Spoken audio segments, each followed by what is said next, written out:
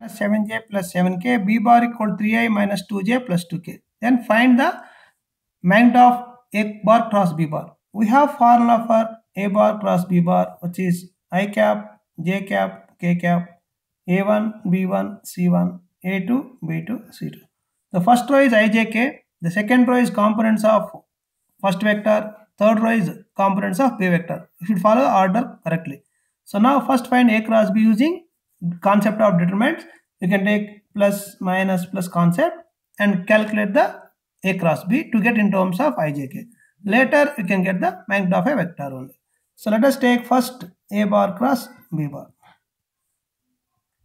I cap j cap k cap. Follow the concept of determinant concept. Keep plus minus plus. So everyone knows about how to find determinant.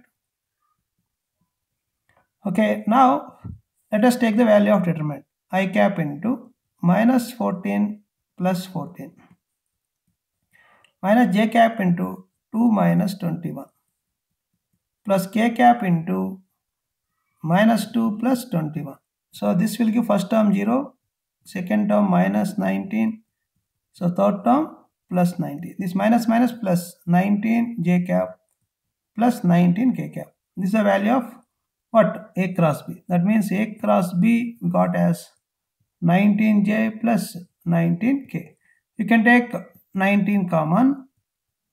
That comes j plus k cap. Now apply magnitude.